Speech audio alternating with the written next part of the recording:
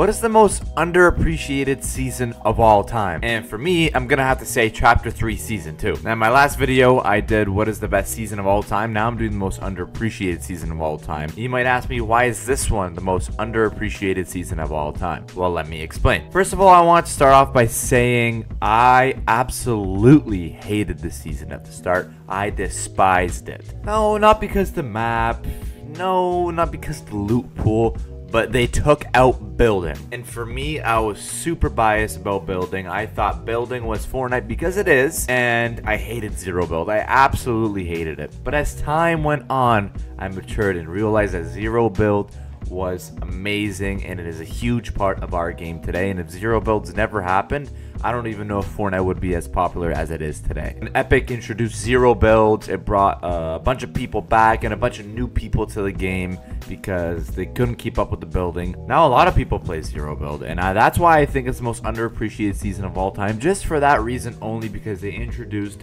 zero builds. Another cool thing that the season had was the live event at the end where we had to control the mech. Yeah, that was awesome. That's what I think the most underappreciated season of all time is. Let me know what you think in the comments.